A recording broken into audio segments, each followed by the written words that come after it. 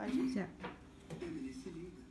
Gente como eu e o Andy é invisível nessa cidade. E foi daí que